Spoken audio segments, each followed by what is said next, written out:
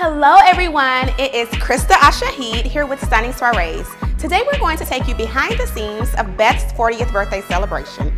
We are here at Perch Southwest. It is a lovely rooftop lounge. Beth is in love with pop music and she also loves pop art. So she decided to do a Is Popping party. Come along with us today and we will share what the guests will experience today.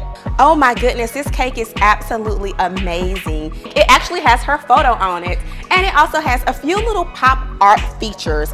So we have wow, pow. We cannot wait for the guests to taste it because it will taste just as good as it looks. And how lovely is this color palette? We have a mix of pinks, blues, yellow, and of course the metallics to make it pop just like we will be doing tonight as we're popping it for Beth's 40th birthday celebration. So as an extra bonus, we decided to hang some balloons from the ceiling. This ceiling installation contains the same color palette, but it also has tassels.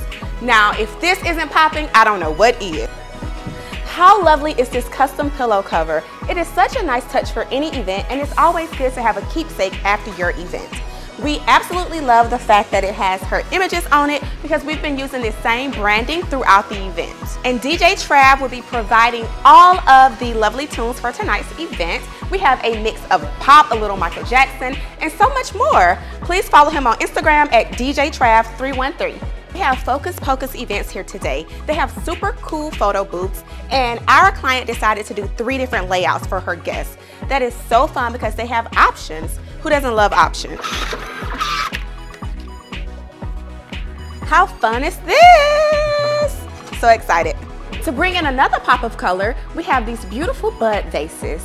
Aren't they popping? As a take-home gift for the guests, we will be providing these mini champagne bottles because we would like to thank them all for popping by.